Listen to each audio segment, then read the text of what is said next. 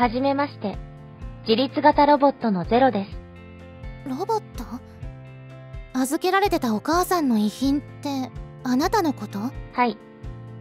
では、早速掃除を開始します。ちょっと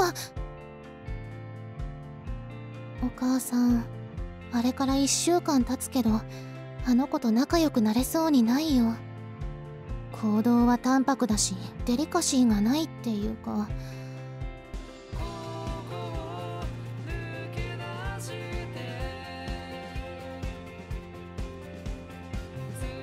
ねえここにあったお花知らない？大切。